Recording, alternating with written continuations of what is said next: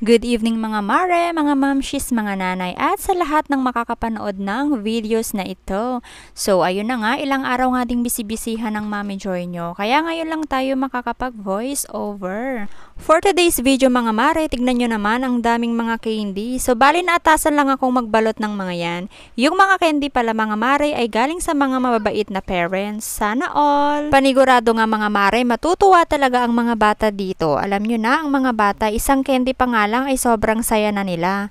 Dahil nga medyo madami-dami din ito mga mare, ay agad ko nang inumpisahan ang pagbabalot.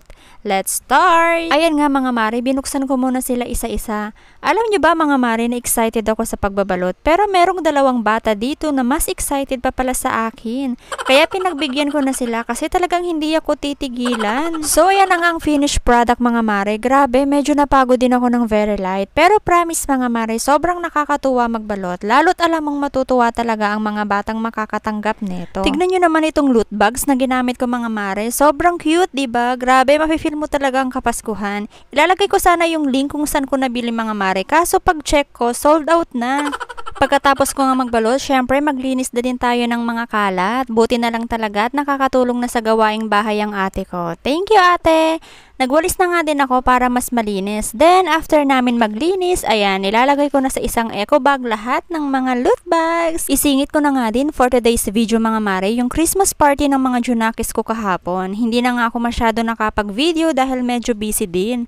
Nakaka-happy lang talaga mga mare dahil after pandemic ay meron ng ganitong ganap. Hindi nga lang mga kids ang mga nag-enjoy. For sure, lahat ng mga nanay ay sobrang nag-enjoy din. After naman ng Christmas party mga mare ay syempre hindi pa kami umuwi. Medyo nagutom nga kami kaya niyaya ko muna si Ate Juvie kumain. Alas dos na din kasi ng hapon natapos yung party ng mga bata. Ayan nga si Ate Juvie mga mare ang napakaganda kong kananay. Sabi ko nga sa kanya ay mag-video kami at ayan nga may pakaway-kaway pa siya. So eto na nga mga mare for the uwian ng mga little person. Excited na nga sila umuwi dahil magbubukas pa daw sila ng mga regalo nila. Ayan na nga yung mga regalong natanggap nila mga mare. Sobrang happy talaga nila kaya tignan nyo naman may pa-flex pa talaga sila. Hindi na talaga paawat itong dalawa mga mare kaya sabi ko buksan na nila yung mga regalong natanggap nila. Ayaw pa nga nilang magpatulong sa pagbubukas kaya hinayaan ko na lang para naman mas ma-feel nila yung excitement habang nagbubukas ng mga gifts. At kitang kita ko naman na sobrang happy sila at na-appreciate nila yung mga bagay na na-receive nila. Kaya ako bilang nanay ay masaya na din.